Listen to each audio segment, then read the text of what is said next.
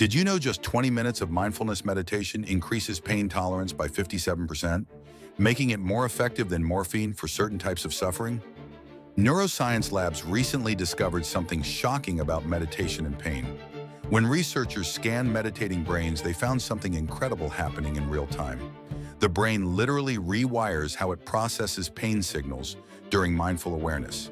Instead of fighting discomfort, meditation transforms physical pain into neutral sensation through specific neural pathways.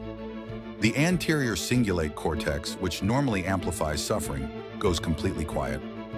Buddhist monks have demonstrated this for centuries through extreme practices like sitting motionless for days. But modern brain imaging reveals the stunning truth behind their abilities. During deep meditation states, the pain processing centers essentially shut down. The sensations still exist, but the brain stops interpreting them as suffering. What's mind-blowing is that scans show pain signals reaching the brain normally, but the emotional response vanishes entirely. This completely challenges everything we thought we knew about the nature of human suffering. The mind truly has power over matter.